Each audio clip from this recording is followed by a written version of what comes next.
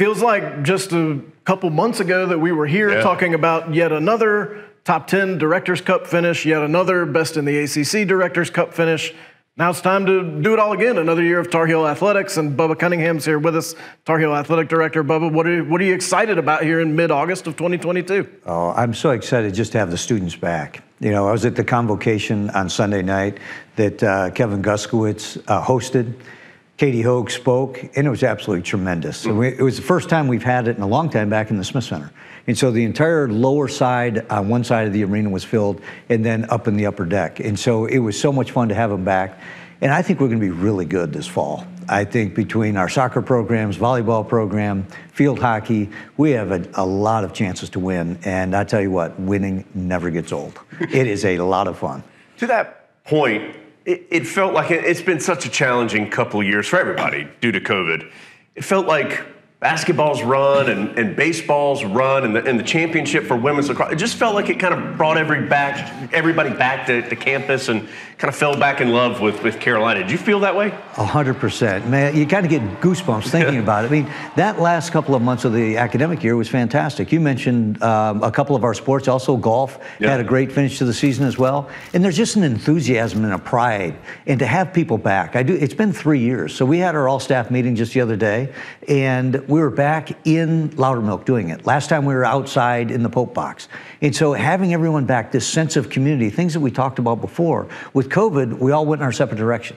Now everybody's back, and I cannot wait to get everybody back for all of our games. Because as I said, we're going to have really good teams this fall, and to get the fans back is something I think is going to be special for our teams. And the fans will be back in less than two weeks for Carolina football, a week zero game this year. Tar Heels at Kenan Stadium early. What are you excited about about getting a, a real home crowd back at Kenan again? And, and what kind of feeling are you getting from football this fall? It's great. You know, we're we are early. We're in week zero, but we're also back on campus uh, and starting class August 15th. So it's actually good that we have an early game because I, and this may be the earliest we've ever started. I don't know, but having everybody back, and I was just talking to the football staff yesterday. The thing I love about college athletics are all the students being back. You hear the whistles at football, you hear the band practicing. They lit up the tower, the bell tower the other night. Those are the things that are so exciting. We've got the Marching 100 coming with FAMU as well. So it's going to be a great day. We're doing a lot of things with the HBCU and a lot of their uh, cultural events around this weekend. And I think it's going to be a special weekend. So I'm sure hoping a lot of people can be here for the weekend, enjoy it, and then come to the game. Of course, August 27th, 8 o'clock in at Kenan Stadium. It's the second earliest kick date for Carolina football. Only in 2001, Carolina started at Oklahoma on August 25th, the only time that the Tar Heels have started earlier than this in a season. Uh, Why did I sorry- waste yeah, time sorry, Bubba, su- no suggesting? What? Yeah, I know you know when the games were. When did the classes start? you got me on that one. You got me on that one. Um, Bubba, this is year two now for NIL. We're, we're almost a, exactly a year from when NIL began last summer. How has it changed your world and college athletics world over this last 13 months or so? Well, it really has changed a lot for our coaches, for our students. And they're just like everything else. When you get into something new, there's a lot of great things about it. And many of our student athletes have had this opportunity to create NIL opportunities for themselves. They've gone out and found businesses. They've figured out ways to monetize their name, image, and likeness and help businesses succeed. And that's been fantastic. I don't think we anticipated quite the speed of which these collectives were developed. The idea of NIL is you go out and monetize your ability to do things for others. What we've seen with the collectives is we're collecting money and then trying to find individuals to give it to, which is the absolute opposite of what it was. So it's a little bit bumpy and rocky. And the collectives do a wonderful thing for a lot of our students as well. It's just not exactly what we thought. I think one of our biggest challenges as we go forward is recruiting. You know, that's the one thing, or the one of two rules. You know, it's not supposed to be recruiting inducement, but we're unclear of how we're going to try to navigate that space. We're the only sports organization in the world where the individual picks the team. Every other one, the team picks the individual through a draft. Even in Little League Baseball or your high school that you go to, it's this, the community you live in. So this is unique and different. And so I think is what we have to begin to talk about is how do we try to get our arms around that, that recruiting process? You talked to us back before this even started and said, this is going to happen and we need to be prepared that this is coming.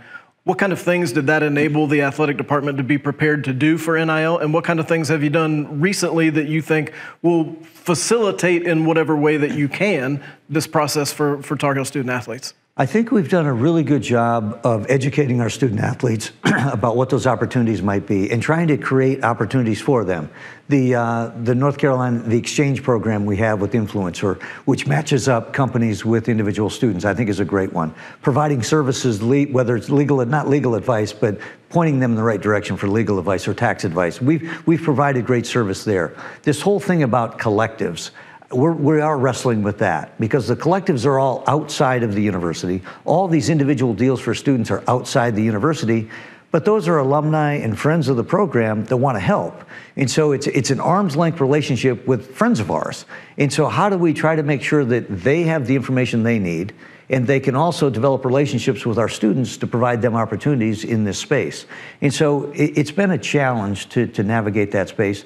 And what we're trying to do is communicate what we are doing communicate it to our students, communicate it to the public, communicate it to the collectives, and say, here's what you can and can't do, which is basically you can do whatever you want to do for our students, but let's do it in the Carolina way. Let's do something that we're comfortable with. Well, the last thing on this topic are the students more savvy in, in the marketplace at this point a year later? Absolutely. You know, we have 800 student athletes some of them are very savvy in the marketplace. Some of them don't want any part of it. Mm. And so it's all across the board. So, but the ones who have gone out there and created their own deals, they've learned a ton. And so all the things about running your own business, being entrepreneurial, all those skills that we wanted them to learn, a lot of them have. And I'm delighted for those folks. Um, the rest are somewhere in the middle and, and, that's probably what we would have expected. And so, as I said, there's there's good and bad with it, and uh, I think the the good has outweighed the bad. But I think there's a few things we need to really look at as we move forward. The transfer portal, recruiting, we have to get our arms around that because right now, that is a real frustration for our coaches, and I feel badly for the coaches that spend a lot of time recruiting students and doing everything they can to get them to come and then all of a sudden they get frustrated, they're not playing, or there's a better deal somewhere else, and they can leave so quickly. And so we, we have to moderate that. I think we could have said this exact same thing these last two summers when we sat here. It feels like the big news in college sports this summer was some conference movement. What did you think as you saw all that unfold, and where does Carolina stand as we look at the landscape right now? Well, it, it, was a little surprising. Two years in a row. I mean, two of the major brands in two other conferences choose to go to a different one. But what I'm really happy with, the ACC is strong. The ACC is as strong as it's ever been. and we have 15 great schools, 14 that play all the sports, and then Notre Dame in with the Olympic sports and five football games a year. And we're in a great position. Now, financially, there's a gap, and we're going to do everything we can to close that gap are actually the execution of incorporating some of those new schools into new leagues, I think will be a challenge for them. So I think the one thing about our league that I like the best is we're up and down the East Coast, and I think that makes a lot of sense. we are moderating how we're going to change our uh, travel schedule for football, so we'll play teams more often. But I think our challenge as a league will be to continue to find ways to help ESPN and help ourselves close that revenue gap. And I think there's a lot of opportunity to do that. Well, I guess that, that was going to be my, my final question. I know this is the million dollar question, quite literally. How does that, what, what are some things that can be done to, to close that gap?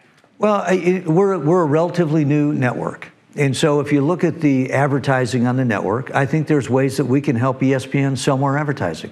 I think we can be better partners with ESPN to try to make the thing more profitable. And once you do that, then everybody's going to succeed. So we're, we're talking about ways that we can do that. Um, whether or not we change some of the programming. You know, they hmm. have modified the programming a little bit. Are there ways for the schools to contribute more to the programming and maybe get more out of the relationship with ESPN on an individual basis?